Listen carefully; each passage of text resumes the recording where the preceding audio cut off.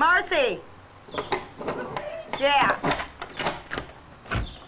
Hi, how are you? Okay, how are you? Oh, it's great to see you. You too. Oh my God, I can't believe you're here. I know, three hours on a highway of death is Oh, oh my God, I can't believe it. I haven't seen you in ages. I know, I know. Is this your house?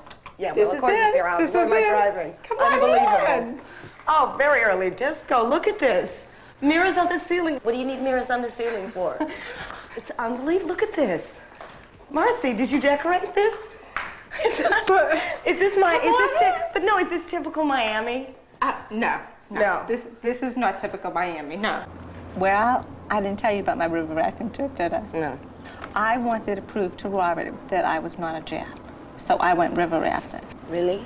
There were no rapids. I was sitting on the bottom of this boat, bored to death.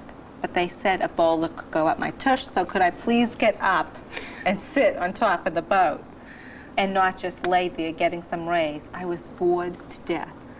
But I thought Robert's going to use this revenge. They made me put a wetsuit on. They asked what size I was. I said, he doesn't even know what size I am. You're not going to know what size I am. Just give me a man's size wetsuit. That's it. I put this on, but I hid a life raft over the whole thing and made sure it passed the hip line. So it was fine. So it wasn't total, totally bad. So, are you going back to Champneys? I don't think so. I think I'm banned from there. Why?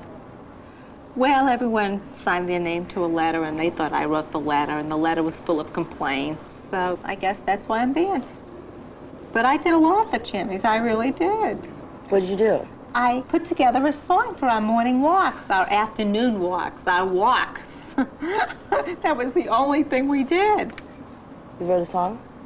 For Well, Champneys? not wrote a song, but I had a little song made up for Champneys. What? Tell me.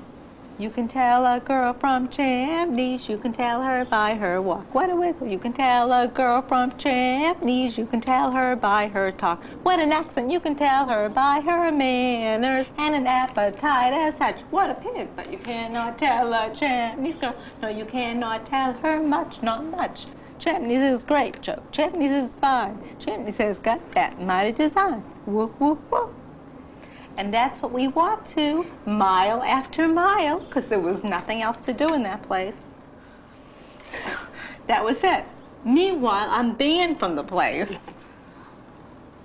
Okay? Okay.